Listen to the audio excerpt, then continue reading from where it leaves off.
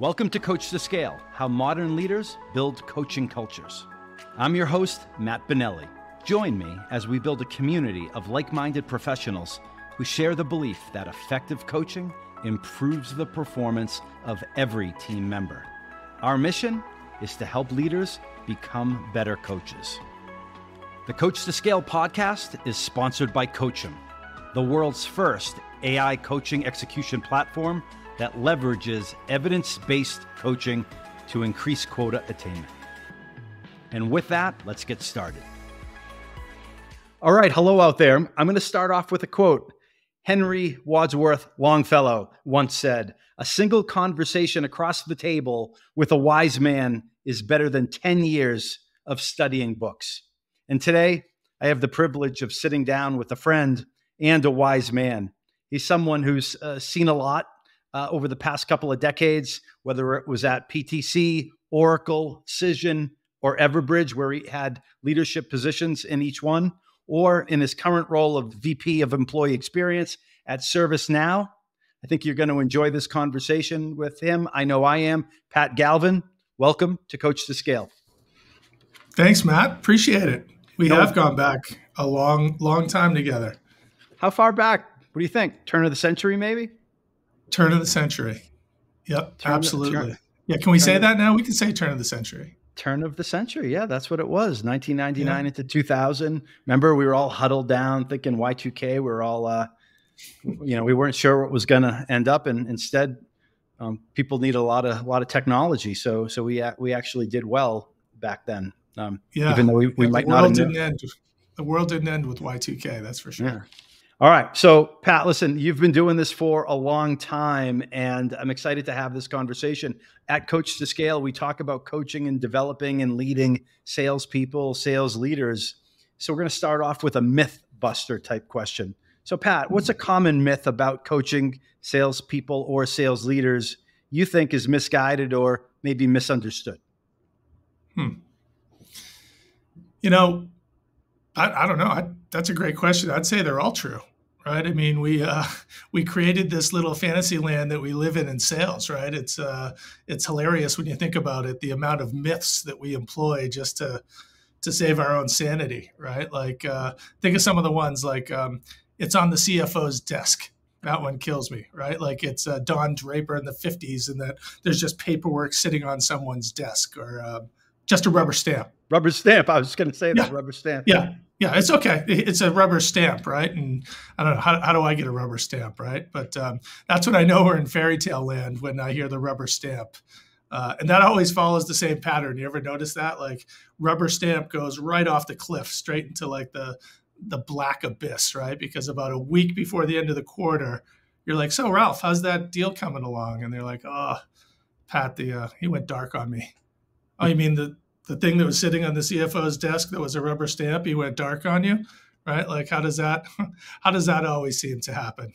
Um, but anyway, to be honest with you, I think you know we we do we do live in a little bit of those those myths, and and we kind of need them. But if I had to answer your question directly, I'd say um, a big myth is probably that your top seller can be your next manager right? And I don't think that could be further from the truth, right? In fact, it's usually the very opposite between what makes a really great seller and a really great manager are often, you know, two different skill sets completely. So that's what I would say. So, so the the old adage that just because you were the superstar on the court or on the field doesn't mean you're gonna be the best leader on the sidelines, right? Yeah, exactly. Right. I mean, you know, a, a, top seller is really, you know, there's many ways to be a top seller. There uh, they're motivated, obviously, by high achievement for themselves. They're just thinking about them themselves. How can they get their deals? How can they hit their individual quota? Um, usually, they're on that lone wolf status, and that's very different from what you need a coach to be. Right? A coach has a bunch of different attributes, and just because you know a coach can be a great seller, but not every great seller can be a coach. Okay, so just I, I just because I think we hear a lot we hear this a lot in our business. And so what what I hear you saying is just because you were a solid performer doesn't mean you earn the spot uh, as the leader of people. But I don't hear you saying that you can't be, go from being a top performer to being a great coach. It's absolutely just, not. Okay. All right. Yeah. Yeah. You, you, you, you definitely can. But you know what? It's all about knowing what you're looking to get out of your own career as well, right? Because a lot of, a lot of people just want to be a seller. There's a lot of things that go along with becoming a leader and becoming a manager that don't doesn't appeal to a lot of people. You know, it's it's kind of completely different career paths. I guess is what I'd say. A lot of people think it's linear, right? I become a rep, I kill it, I become a manager, then I become a VP, and you know, up up the management chain. I don't see that as a hierarchy. Um, there are really successful people that just want to stay their whole career being sellers, and they're, uh, you know, maybe even economically end up on the, on, on you know, beating everyone yeah. else on that. And so, why does it happen consistently, Pat? In your view, why do people continuously believe that just because someone was at the top, uh, was a top seller, that they should be promoted into management? Is it, I don't want to say laziness, but is it the path? Is it the path of least resistance, or is it something else? You had to pick one. Yeah, I've I've I've fallen into it myself. I think the main thing is that you you think that they obviously have something figured out they know the product, they know the pitch, they know the market. They can help other people just because of their knowledge, right? They're really good at what they do. So, of course, they're going to be able to influence other people to act just like them. I think that's really the trap that, that people yeah. fall into. Yeah, no, it's a it's a trap for sure. And so I know you're a big believer in building the right culture. And uh, we talk a lot on the program about building a coaching culture and everything that goes into that. From your point of view, Pat, what, what are some key things to consider when trying to build that type of culture? A coaching culture? Yeah. Well, I think, I mean, first of all, I, I'd put it into three three categories. I'd say trust, timing, and, and, maybe tradition, right? So, so if we start with trust, you know, people need to know that they can be honest with you about their deficiencies. Uh, if they don't feel safe, which is another word of way to say trust, then they'll just fake hide and lie and then they'll never get better, right? They need to be able to trust that you're yeah. really there to help them get better. So I think that's a uh, that's an important piece. Yeah. Second one would be timing, right? And I think timing is really important to be able to coach in a particular situation in a particular point of time. I think that's critical. You know, coaching can easily be perceived as criticism if it's done after the fact right? Mm-hmm. So when you're trying to coach someone after the deal blew up or after the deal is there, it's like, well, did you do this? Did you do that? Well, did you talk to this person? Did you, you know, did you try and ask them who the buyer was, what the buying process was, all of those things? So afterward, it could be criticism, but I think the timing of it, doing it consistently, saying, mm. hey, go try this how did this work? And then coming back. And then last thing is the tradition making sure that you are always doing coaching. It's not a one-time thing kind of back to that timing so that you're always coaching that you're having conversations in the middle of the sales cycle in the beginning of the sales cycle um, and that good coaches create good coaches right? It's a pay, pay it forward thing. Awesome. Uh, trust timing and tradition. And i really like what you said about the it's got to be consistent. Otherwise it, it could come across as punitive or onerous. Oh, my manager, you know, is coaching me. That means I did something wrong. Uh, I know, you know, we hear that all the time. Uh, so, yeah, I get that feedback a lot too, right? And I think the higher up you go in an organization, when you're doing deal reviews and when you're not doing it on a regular basis, um, you're constantly trying to impart knowledge. But again, imparting knowledge backwards can see can, comes across as criticism, and people, uh, you know, might not take it the right way. Okay. So um, I, have a, I have another question for you, and it's a little bit timely because a blog I, a blog post I wrote just came out today. So we'll see if uh, what your answer is and how it aligns with what I said in the in the post. But little um, plug. Yeah. So performance or people, performance or people. From you know when you're looking at it from a leadership perspective, right? We all want performance. We, we you know we all have a team made up of people. Which one comes first? Yeah, I'd say people, 100%. Right? If you're looking to manage performance or or manage to results, which by the way is how many of us were taught to do for decades, you know, yes. that works for a while. Uh, but I've found goodwill to be an exhaustible resource right? So that method rarely works in the long term. In fact, probably the only reason it does work is because you have so much attrition and turnover that you're keeping like a fresh supply on newbie goodwill at hand. Uh, but you'll never get the magic, right? You'll never get that true connection of managing for the career, not for the quarter. So I think it has to start with the people. Uh, and if you take care of, of, of managing and coaching the people, then the performance comes on top of that. And you you mentioned a word that um, I know is linked has been linked to you or phrased has been linked to you for a long time. And I don't know if you're gonna if we get to it later on, but you mentioned the word magic. And uh, I know a lot of people remember Pat as saying, "Hey, what do you think I have? The magic beans here." You know, you talked yeah. about goodwill being a finite resource, you know what what are the you know what is it about the the magic beans what do seen the senior leadership be what do others think that that leaders have that makes that finite resource an infinite resource what are those magic beans and what are magic beans right you don't have magic beans uh, i no i think i'd like to think i do sometimes uh, but I can, yeah. I can, I'll, I'll, sell you some, Matt. I yeah, some I, I, need some. I need some.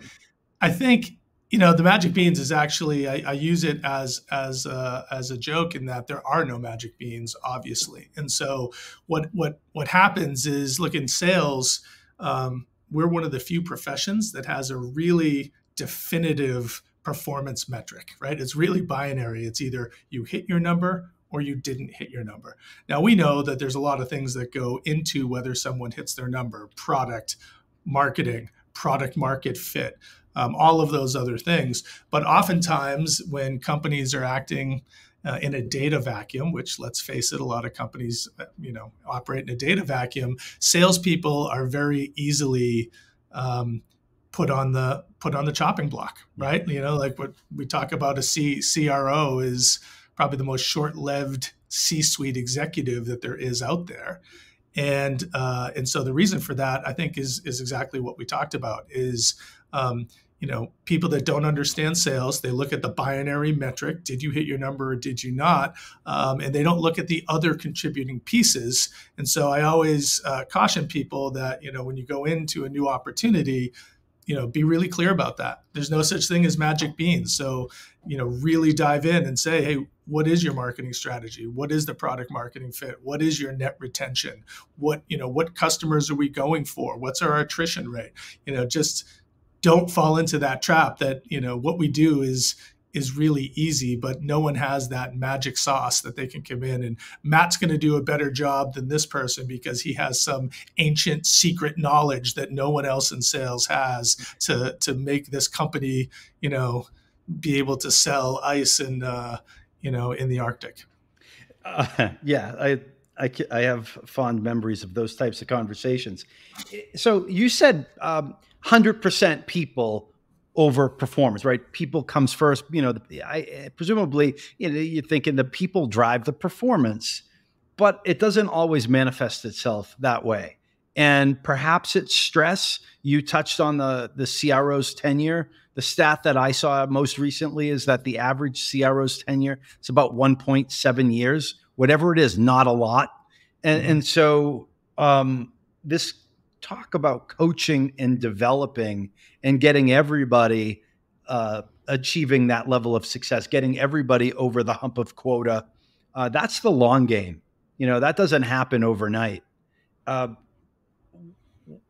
since it is the long game and there's so much pressure, why is it worth going down that road?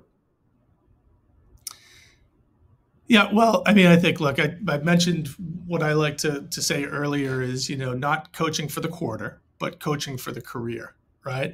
Um, and look, metrics and deal inspection are critical to a successful sales organization. There's absolutely no getting around it. Um, but when you focus only on the deals and you focus only on the quarter and you focus only on the metrics, I think it has negative effects on two fronts um, both internally and externally. So, internally, if all you ever do is focus on the deals, metrics, inspection, you get basically a transactional relationship with your people. Uh, and that's you know that's what you're creating and that's what you'll get in return so what does that look like you'll hit your numbers maybe at least a couple of quarters right uh, but it probably looks like a feast or famine right? You'll have some people that blow it out. The majority are probably starving. You'll get regrettable att- uh, attrition, mm-hmm. and then you know, and you'll get it at the worst possible time when you don't want it, right? In the you know, in in November of Q4 when you don't want people to leave, and then eventually it leads to a toxic culture. And then externally, you're again, you'll hit some quarters but you'll be pressuring your customers to buy. You'll be giving discounts rather than selling on value. You'll you'll ultimately you know your reps will be churning and burning and then they're going to be on to the next set of metrics in the next quarter uh, and that will affect the customers and their critical projects will be left behind and then you don't have references and then you don't have upselling and all of those things that that go to that now like i said deal inspection in metrics are critical but you have to have uh, a sense of empathy and authenticity to it right? Your mm. team has to know the why you are measuring metrics so intensely. So, for example, I'd say, uh, you know, when I'm when I'm I use a lot of metrics, right? Um, but I, I, try and tell my team why we're doing this, right? We're, we're measuring ourselves so that we can showcase to the rest of the company all the hard work that we're doing, mm-hmm. right? This is brand protection. I'm not doing it so that I can make sure that you're working on a Monday or a Friday afternoon. I'm using this data to make our department bulletproof so that when people start pointing fingers, which they always do, they can't point them at us because we're showcasing all the hard work that we're doing, that we're making the calls, that we are understanding the value proposition, that we're checking down and doing our sales metrics, and that we understand our methodology, and that we're having deal maturity and deal maturation. You know, those are things that run a sales organization, but you need to be able to, to prove that to the rest of the company. Hmm. Um, yeah, m- metrics drive successful businesses, but the right ones and for the right reasons uh, are the ones that people get behind and and help drive a sustainable business over time. So coaching for the career, not the quarter. The quarter. Did I have that right? Yeah, absolutely. Love that. Love that. I want to tie back to something that you touched on earlier when you brought up the, the the binary nature of the performance metric, meaning you hit your number or you didn't. You hit your forecast or you or you didn't. And so mm-hmm think about the team performance. And this is a this or that question. And, um, you know, the answer is both, but I, I want you to weigh in one way or the other. And so the question is is it better for a team to achieve, let's say, 120% of quota, but that 120% is um, on the backs of two people who made their number? Only, let's just say, 20% of the team made their number. They blew it out and they carried the whole team to 120%. Or, Pat, is it better to have slightly lower performance, let's say 110%, but every person on the team just got over quota? What would you say to that? Yeah, geez, I feel like these are softballs, right? So, I mean, for me, I would say that it is much better to have 100% of the reps making their individual quotas um, with everyone at 105 ish, uh, rather than a few people 20% making you know the majority of the quota. Yeah. so i mean if, if 100% of people are making their quota you might want to look at the quotas obviously. But i think the momentum and you know if if if people a you want your sales reps being successful.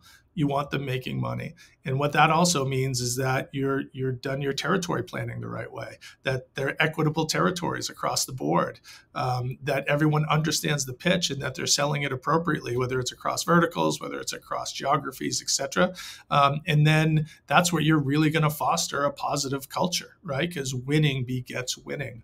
Uh, and i think you know rather than that feast and famine example that i talked about earlier when multiple people are being successful they're more collaborative they're helping share information back and mm-hmm. forth. Mm-hmm. And uh, I think by far that would be the the better solution than uh, than having just a few people at 120 percent. I think that probably indicates that there is some serious problems in the org.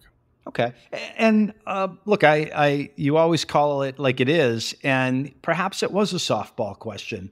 It's a softball question. I think we can agree in the classroom, so to speak. Um, yeah. You know, uh, over over a, a beer it's a softball question like when you're you're taking a test, what's the right answer?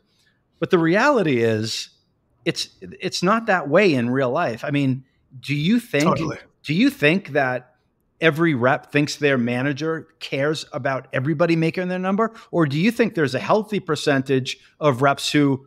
For one reason or another, think that manager only cares about themselves. And as long as the team gets over the number, they don't give a crap about everybody on there.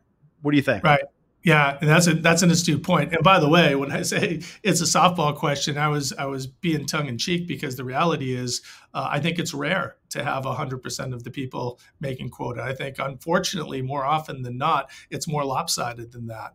Um, and so I think, um, yeah, I think that that that reps probably do feel like, um, you know, well, that's a good point. I think it, do, do, reps, I don't think reps, if you're doing it the right way and you're leading with authenticity and you're being, um, you know, you're, you're being a strong leader and all the things that we talked about, managing for the career, not the quarter, then hopefully the reps would understand that they want everyone uh, to, to be successful, right? And I think that's an important piece that every manager has to, to have that trust make sure that they know that they're getting the right coaching uh, and that there's consistency across the board. Right at the end of the day, I think that's what sales reps want to see from their leadership. They want to see consistency. They want to know that they care about their success. Uh, and I think if those things are there, any any good leader that sees that there's that much of an imbalance will be constantly trying to uh, find ways to to fix it. Yeah. It reminds me of the saying, people don't care what you know or how much you know until they know that you care about exactly. Yeah. So, right. um, Pat, let's um, let's talk about you a little bit. Um, let's talk about my Pat favorite topic. Galvin. Favorite topic, yeah. Listen, everybody and everybody knows that. Um, so, so Pat, you've been doing this a while. Um, lots of lots of lessons. Uh, some of them we laugh about. Uh, but what's one very important lesson you've learned along the journey when it comes to coaching and leading people? Uh, I would say um, be authentic. Be be be your authentic self. So, so that's a cliche. Okay, so let's. I I'm I'm with you 100. percent By the way, but I think some people out there listening are like, okay, authentic, authentic self. Yeah. Uh, you know, that's a you know yoga phrase. Um, and mm-hmm. my wife is a yoga teacher for a long time. I know a lot of the yoga phrases, but but seriously, a lot of people know you and me together, and they're like, "What's Pat talking about? Authentic self." So can you but talk about that a little bit? Now I'm throwing the softball. Yeah, uh, and, and, this is really just about me. And you're right. You know, when I say it, maybe it can come across as new agey or you know uh, something simple, but I know that I'm being my worst when I'm not being my authentic self. And let me just say about authenticity, it doesn't mean you need to be a yoga instructor or Gandhi or a guru. It just means being who you are consistently. You know, you can be an authentic jerk. Uh, you can be an authentic uh, coach, etc. Uh, so it's not. There's no morality uh, implied with this that I've learned. What I'm saying is that when I'm trying to be a version of a manager that I think the board wants or that someone that hired me to be the heavy. If i'm trying to be that hardliner you know from our early days of of of you know ptc and oracle and you know when i'm trying to be that version of a manager um, i'm not as effective as a leader. That's what i've learned. And i've fallen into that trap many more times than i'd like to admit. And and to be honest maybe some of it is my authentic self because i do think you need to put the lead down at times uh, right? I think you do have to to come across and and get your message across, especially when we're talking about metrics and those type of things. Uh, but when I truly thrive personally as a leader, it's when I get past that stage and be my authentic self and show people that I care about them, you know, I have that Boston kind of maybe a little bit of that Boston sarcasm that comes out, but that's when I lead with passion, when I lead with that love for my people. Um, I think that helps. I think that helps the medicine go down, uh, to be quite honest. And so that's what I mean by leading with authenticity, because I think people can sniff out bullshit from a mile away.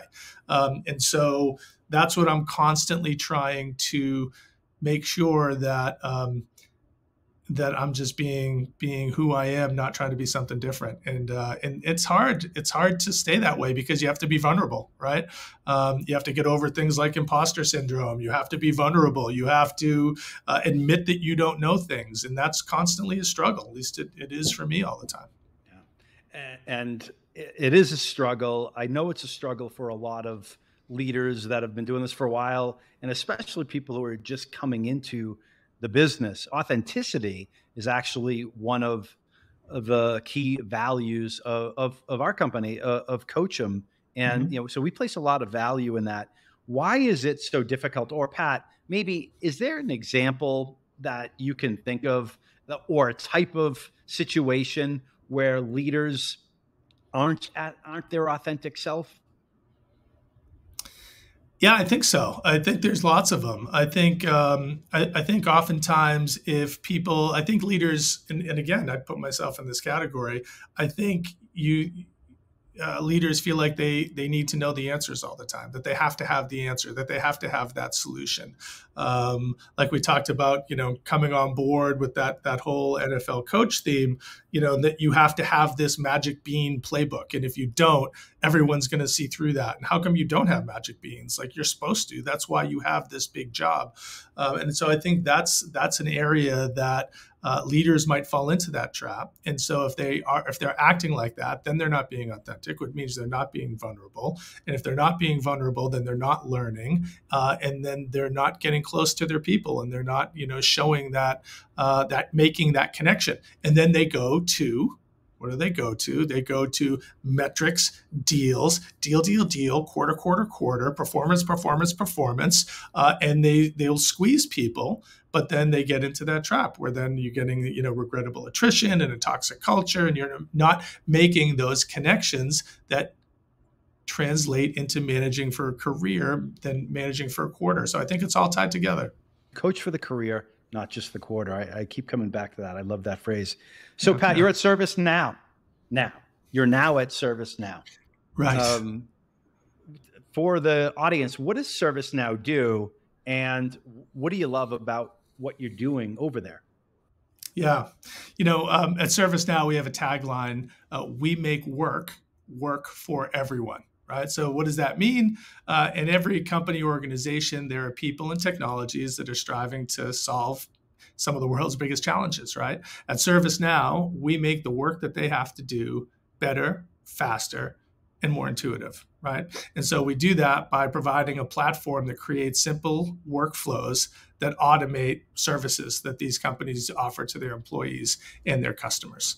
So that's what we do at ServiceNow. Um, in the end, and by yeah, the way, yeah. um, right before we got on um, this platform together, uh, my daughter Chloe is out visiting um, us out here in Park City for the first time, and she said, "Dad, what are you going to do?" And I said, "I'm interviewing Pat Galvin um, on the podcast, and he, you know, he's uh, a bigwig over at ServiceNow." And she's, "Oh, I know what ServiceNow is."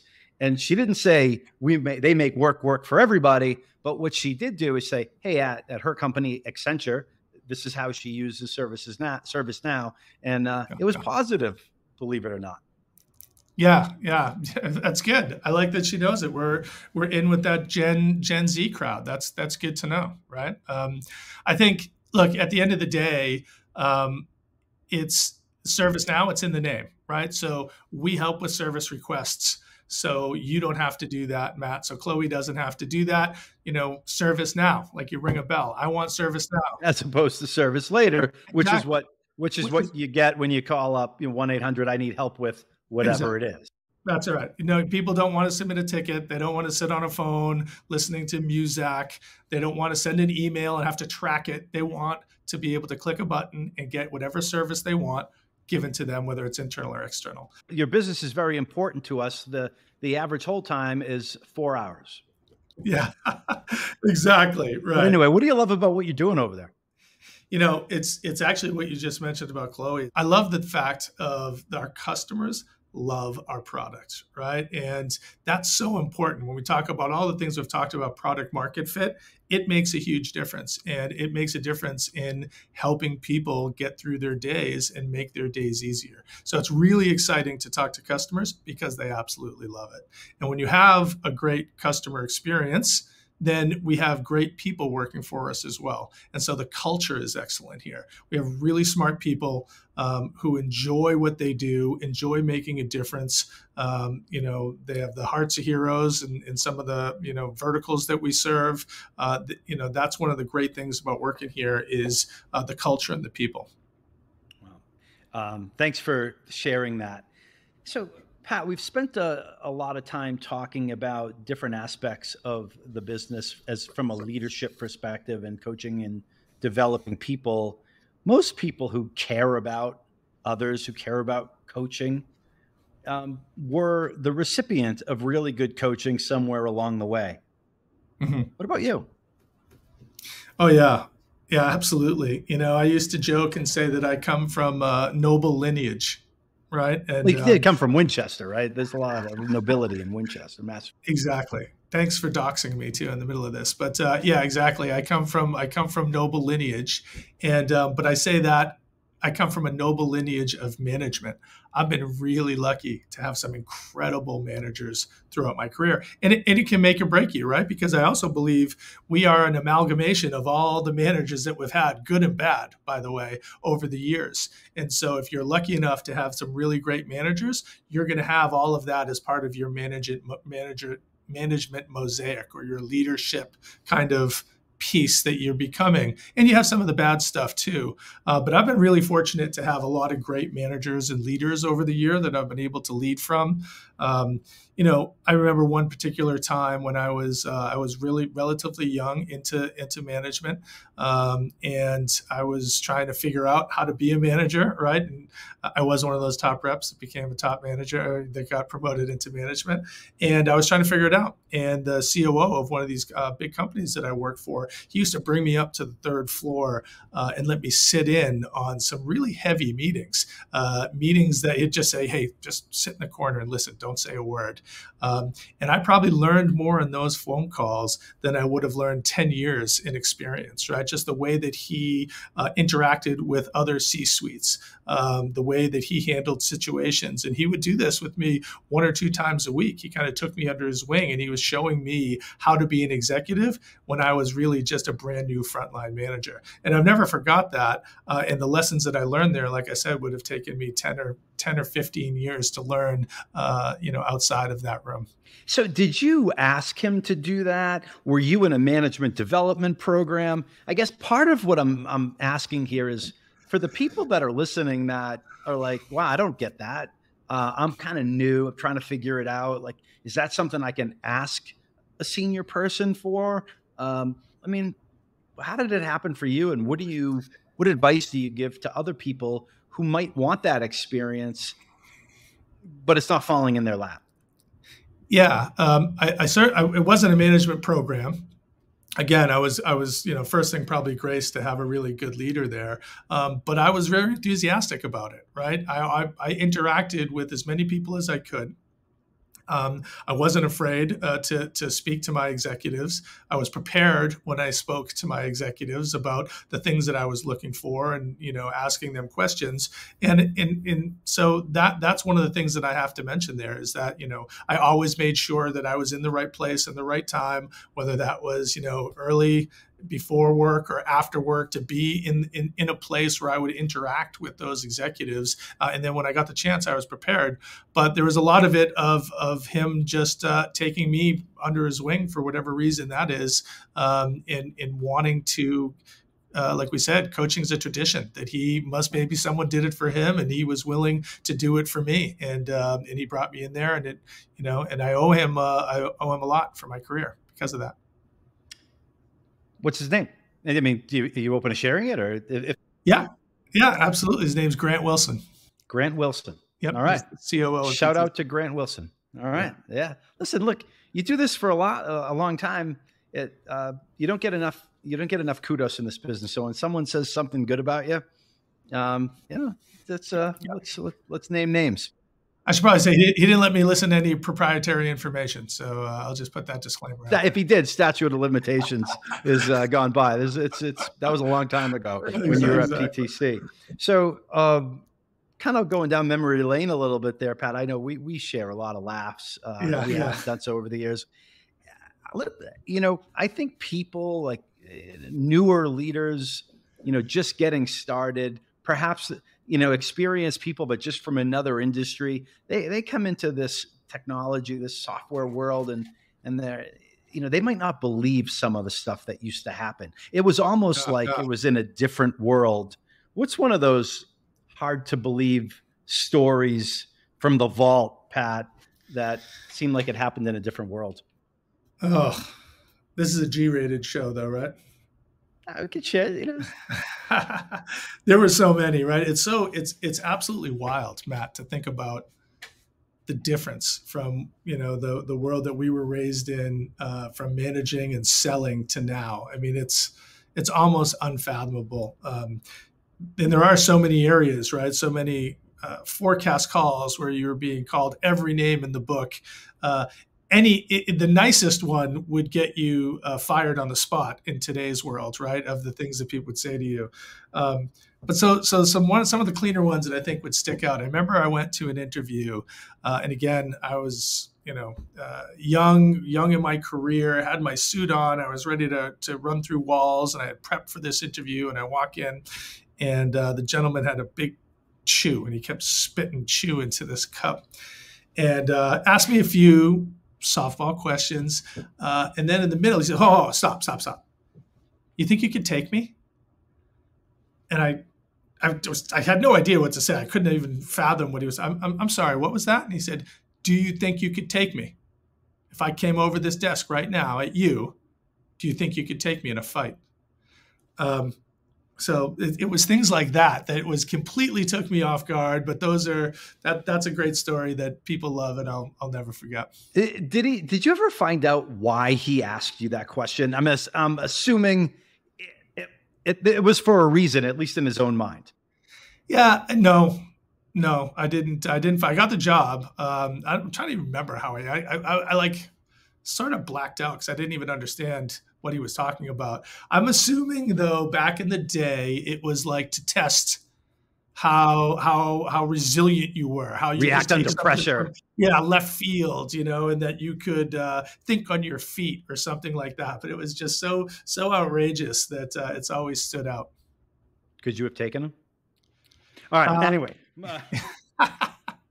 moving right along. So, Pat, um, we've covered a lot of ground in today's conversation. Yeah. Before we sign off, uh, any advice for the folks out there that are just looking for that nugget, that, you know, just something to help them get ahead, something to help them get through the pressures of the day with uh, all the economic headwinds and, and the noise that there is out there in the world?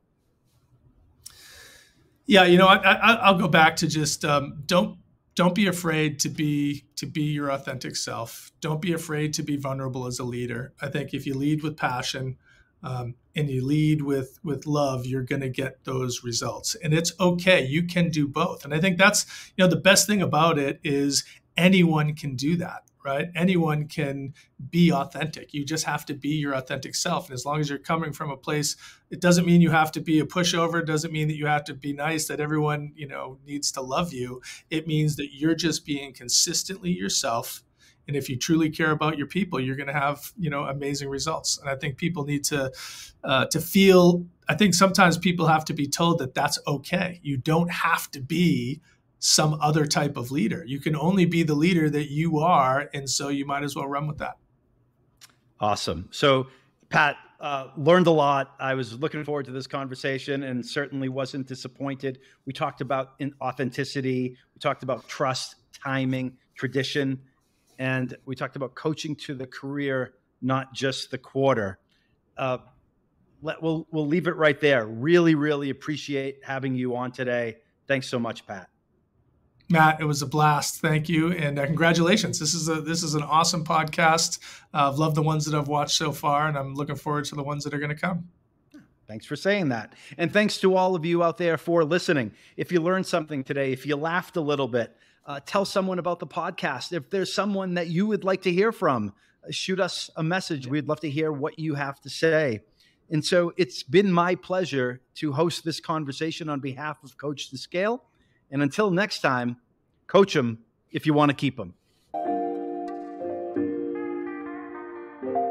We hope you've enjoyed this episode of Coach to Scale How Modern Leaders Build Coaching Cultures.